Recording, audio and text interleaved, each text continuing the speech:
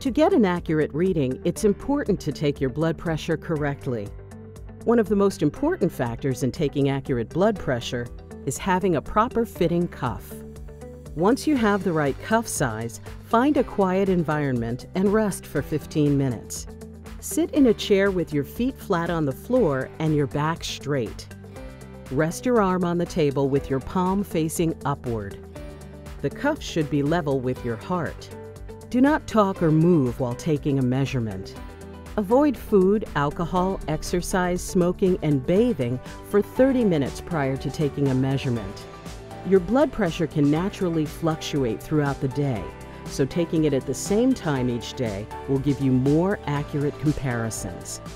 For tips on making changes to your lifestyle to lower your blood pressure, visit OmronHealthcare.com.